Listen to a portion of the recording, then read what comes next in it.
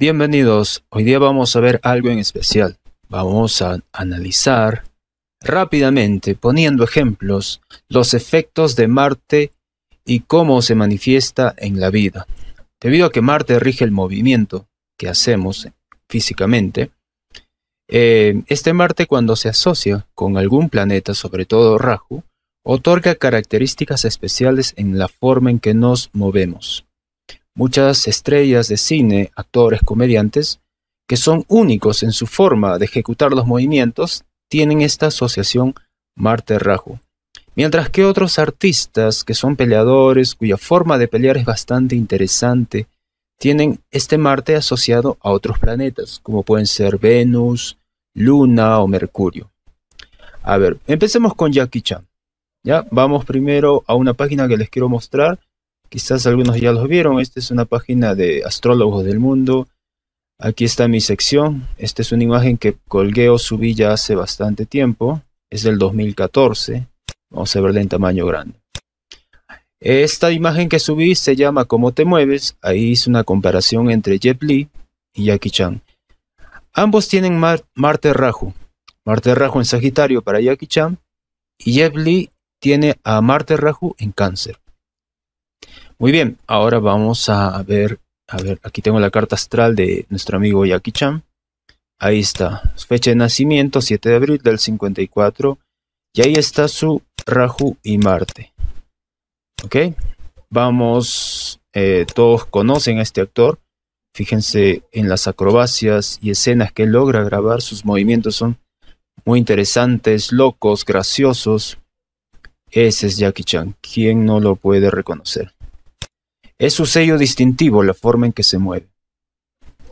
Ahora, em, vamos a ver algunos actores que compartieron escenas con Jackie Chan. ¿Recuerdan a él?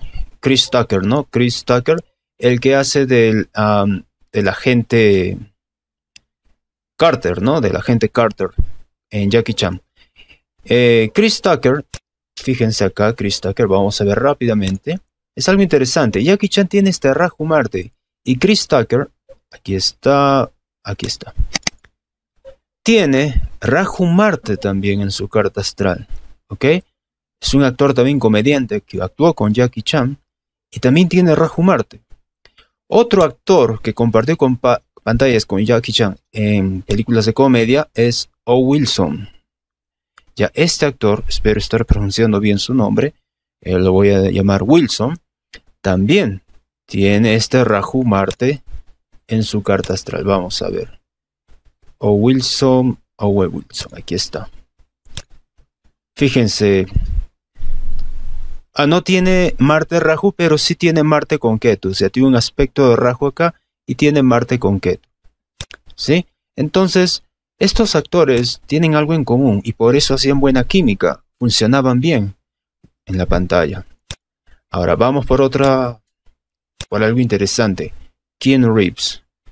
¿Recuerdan la, la película Matrix en las que él, por ejemplo, en la Matrix 1, él hace escenas de Kung Fu, está aprendiendo a pelear Kung Fu y hace un estilo bastante interesante de Bruce Lee. Muy bien, eh, Reeves, okay, que interpretó Matrix, que es una película con mucho ingrediente de Raju, ¿ya? Muy, muy interesante. Se las recomiendo, sobre todo la primera. Vamos a ver la carta astral de este actor. Aquí está. Fíjense, tiene Marte, Raju y la Luna. Los tres en un signo de información y comunicación. Géminis. Aquí está la, fecha. Él nació en Líbano, Beirut.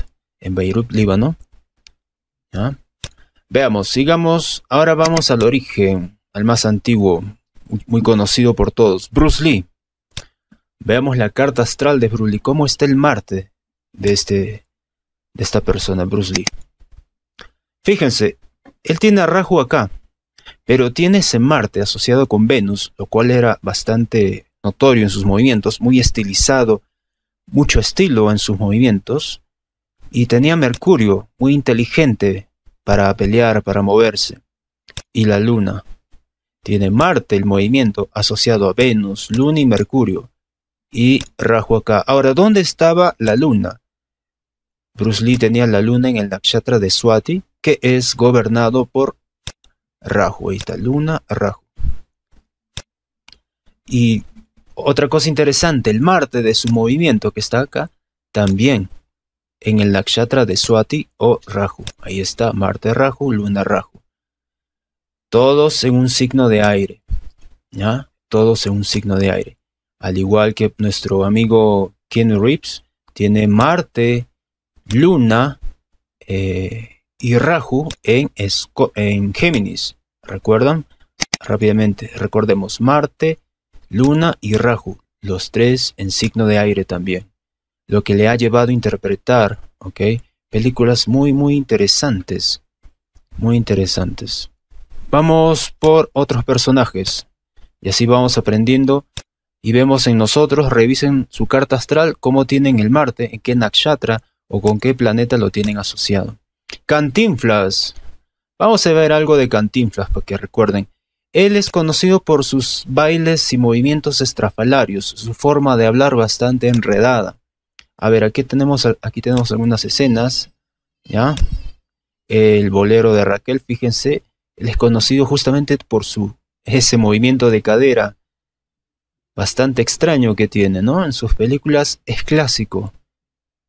Ahí, ahí lo tienen. Fíjense cómo se mueve. Pues bien, Cantinflas, el gran comediante, también tiene a Raju y Marte. Vamos a ver la carta astral. Cantinflas, por aquí está. Aquí está. Tiene Marte, Raju y Saturno en Aries. Aquí está su fecha, agosto 12 de 1911. México. Ahí está, Cantinflas. Marte y Raju. ¿Mm? Interesante. Recuerden, Marte y Raju, esa combinación da un sello particular a la persona en su forma de moverse. Bien, entonces todos recuerdan a Michael Jackson. Vamos a ver su carta astral. Aquí está su fecha de nacimiento, lugar, y él tiene Ketu y Marte en Aries. Ya, Cantinflas tiene Marte Raju en Aries. Michael Jackson lo tiene aquí. Recibe ese, Marte recibe el aspecto de Raju también. Entonces, esa asociación, esa característica, ¿no? Tú y Marte le dé esos movimientos o le daba esos movimientos particulares a Michael Jackson como si se quebrara, ¿no? Em, a eso se le llama el break, el quebrar, break dance, danza quebrada, ¿no? Más o menos así lo entendemos, el break dance. Bien, eso es Michael Jackson y ahí está su Marte asociado con Ketu en signo de Aries. Ah, recordamos ahora, perdón, abrimos de nuevo lo de Cantinflas. Cantinflas tiene, sí, Cantinflas tiene Marte Raju en Aries. Michael Jackson, Marte Ketu en Aries. Bien, vamos por otro personaje por aquí, tengo. Vamos por peleadores. Mike Tyson. ¿Cómo estaba el Marte de Mike Tyson. Vámonos por acá, vamos rápidamente a ver al señor Tyson.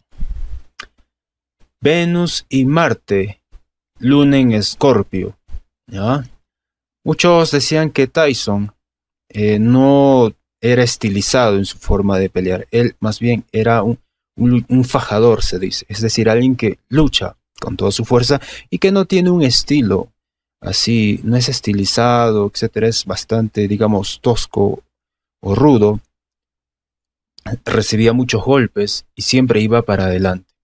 Tyson era un luchador bastante emocional. Aquellos que han leído su biografía pueden entender las razones detrás de las cuales eh, movían a Tyson a pelear como él peleaba. Entonces, él tiene este Venus y Marte en el signo de Tauro. Algo muy interesante es que el Marte de Tyson está en su propio nakshatra. ¿Sí? Algo muy, muy importante. Y la luna, ya fíjense esto, la luna la tiene en el nakshatra de Yesta. Muy bien. Eh, vamos ahora por otro peleador. él es un actor también, ¿ya? Se llama Donnie Jem, si más lo recuerdo. Lo habrán visto, él actuó en la película El Maestro de Bruce Lee. El maestro Bruce Lee se llamaba Jeep Man. Bien, algunos que son fans y seguidores de él lo conocen. Vamos a ver la carta de este actor de Tony Jim. A ver rápidamente, vamos por acá. ¿Dónde estás? Aquí está. ¿Cómo tiene Marte? Él tiene Marte y la Luna. Aquí ya. Y estamos variando nuestro, nuestro repertorio. Marte y la Luna en signo de tierra. Vamos por otro. Floyd Mayweather, el invicto, el campeón invicto de boxeo. A ver, ¿cómo tiene Floyd Mayweather? Él es uno de los peleadores más inteligentes. Eh, quienes saben de boxeo pueden reconocer su estilo y cómo, cómo algunos tratan de imitarlo. Vamos por Floyd Mayweather. Aquí está. Marte exaltado con Mercurio. ¿no? Esto hace de él un luchador bastante inteligente. ¿ya? Y tiene además, en el signo de Marte, tiene a Ketu y la Luna. En, signo de fuego. Ketu y la Luna y Marte Mercurio. Eso hace de él un peleador muy, muy inteligente. ¿ya? E imbatible. Ese Marte exaltado lo hace imbatible. Y vamos por el último, a Rickson Grace. Uno de los jefes del clan de los Gracie, famoso porque su hermano Royce Gracie empezó, eh, fue uno de los primeros que participó en el Vale Todo, allá por los años 90, mediados de los 90, o inicios creo, venciendo a muchos luchadores de diferentes estilos y escuelas. Bien, Rickson Grace, ¿ya? Es una persona que tiene un Marte retro, un Marte retrógrado. Vamos por Rickson Grace, aquí está.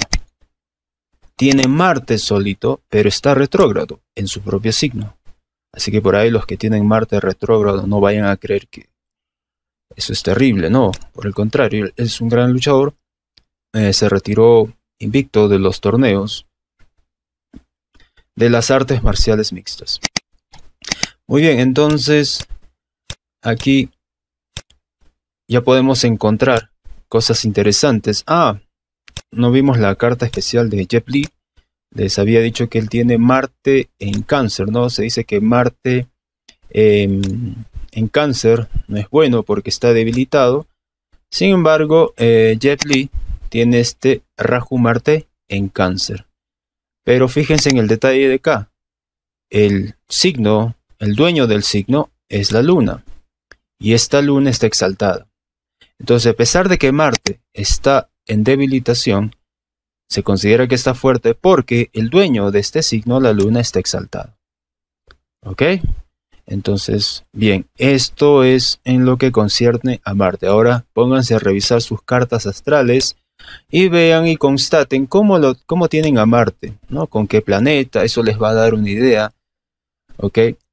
De cómo es que ustedes están influenciados, o cómo se mueven, o si sobresalen en algún, eh, alguna disciplina física, boxeo, natación, artes marciales, danza, etc., van a poder comprender mejor, ¿ok?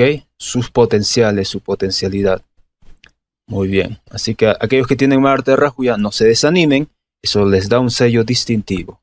En fin. Espero que esto les haya gustado e interesado. Nos vemos hasta la próxima. Hare Krishna.